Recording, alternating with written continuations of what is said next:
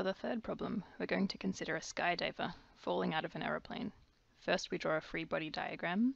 We have gravity acting downwards and the drag force acting upwards.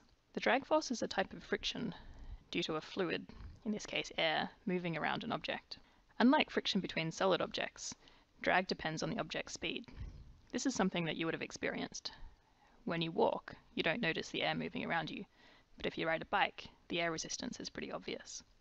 For a small, slow-moving object, when the air moves smoothly past it, the drag is proportional to the speed of the object. But for a large, fast-moving object, the movement of the air around the object will be turbulent, and here the drag is proportional to the speed squared. A skydiver is large and fast-moving, so we can express the drag as Fd equals cv squared, where v is the speed and c is a constant, which depends on things like the air density, the shape of the skydiver, and so on. We can apply Newton's second law to this case, so the sum of the forces is equal to ma.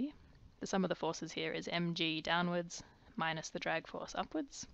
Now we're going to plot a graph of the speed versus time. So to start with, when the skydiver first jumps out of the aeroplane, the skydiver's speed is close to zero, and so the drag force is zero, and the acceleration is just equal to g. You'll remember that on a speed-time graph, a constant acceleration is a straight line. As the skydiver accelerates, and the speed gets faster, the drag force increases, and the acceleration will decrease. This continues until the point where the drag force is equal to the gravitational force, and now the sum of forces is zero, and so the acceleration is zero, and the speed stops increasing. This point is called the terminal velocity. We can calculate the terminal velocity by setting a equal to zero and solving for v.